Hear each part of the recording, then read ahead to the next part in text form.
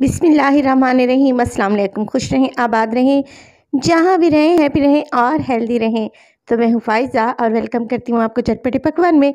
चटपटे पकवान में आज आपसे शेयर करूँगी मेरी super duper hit recipe, beef karahi की रेसिपी।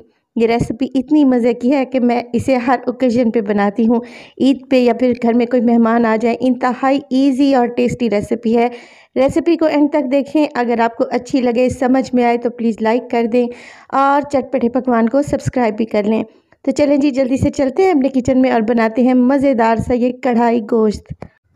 तो मेरे पास है यहाँ पर एक किलो बीफ ये मिक्स गोश्त है, यानी कि इसमें बोनलेस पीसेस भी हैं और नली वाली हड्डियाँ भी मैंने शामिल करवा ली हैं। इससे कढ़ाई गोश्त का टेस्ट मज़ीद बेहतर हो जाता है। इसके साथ ही मैं ले लूँगी दो बड़े साइज़ के प्याज है रफली से चॉप कर लें और तीन बड़े साइज़ के टमाटर भी काट कर रखती हैं। अब क्या करेंगे, एक प्रेशर कुकर ले लेंगे क्योंकि बीफ बना रहे हैं तो प्रेशर कुकर में ईजीली बन जाएगा। अब इसमें बीफ डालेंगे और साथ के साथ इसमें प्याज और टमाटर भी शामिल कर देंगे। दो टेबलस्पून मैं इसमें डालूँगी अदरक और लहसन का पेस्ट मैं फ्रोज़न इस्तेमाल कर रही हूँ, आप चाहें तो फ्रेश भी डाल सकते हैं। तकरीबन एक टीस्पून इसमें डाल दूँगी नमक। आप अपने टेस्ट के मुताबिक कम या ज़्यादा कर लें। दो ग्लास पानी शामिल कर देंगे, क्योंकि बीफ बना रहे हैं तो गलने में थोड़ा सा टाइम लगता है। कवर लगा दूँगी और 25 मिनट के लिए वेट लगाकर इसे पकने के लिए छोड़ दूँगी। अगर आप कढ़ाई में बना रहे हैं तो पानी की मकदार ज़्यादा कर लें और तकरीबन 40 मिनट के लिए आपने बीफ को बहुत अच्छे से गलने के लिए छोड़ देना है मीडियम टू लो फ्लेम पे। यहाँ पे देखिए 25 मिनट के बाद बीफ अच्छे से गल चुका है। मैं इसे शिफ्ट कर रही हूँ कढ़ाई में, क्योंकि कढ़ाई में थोड़ी सी रेसिपी बनाना इजी रह जाता है। बस जी, टमाटर और प्याज यहाँ पर बहुत अच्छे से सॉफ्ट हो चुके हैं। मैं क्या करूँगी स्पैचुला की मदद से इस तरीके से इन्हें प्रेस करूँगी, ताकि ये अच्छी सी ग्रेवी में आ जाए।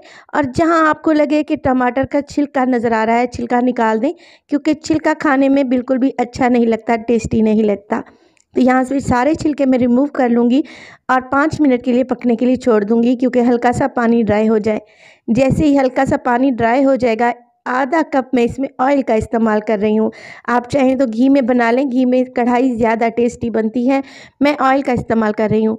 ऑयल डालेंगे और बहुत अच्छे तरीके से पाँच मिनट के लिए हाई फ्लेम पे बीफ की भुनाई कर लेंगे।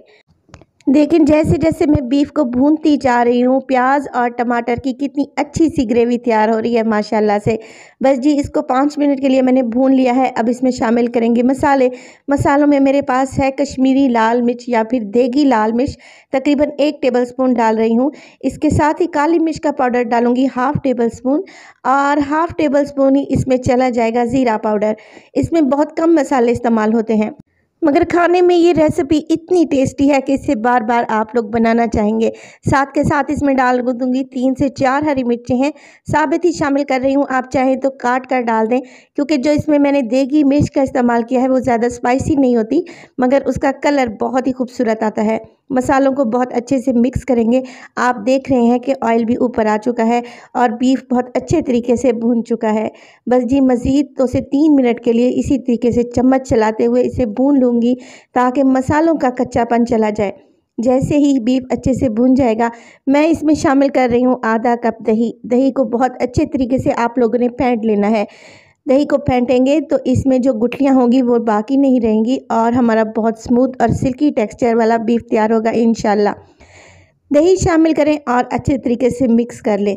यहाँ पर देखें आप जितनी ग्रेवी बनाना चाहें उसी हिसाब से ग्रेवी बना सकते हैं।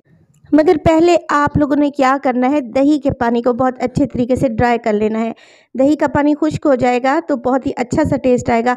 अब इस स्टेज पर आप जितनी ग्रेवी बनाना चाहें बना सकते हैं, मगर कढ़ाई गोश्त में ज़्यादा ग्रेवी नहीं होती तो मैं फ्लेम को यहीं पे ऑफ़ कर दूँगी और इसमें डालूँगी हरा धनिया, बारीक कटा हुआ अदरक, से इसे गार्निश करेंगे।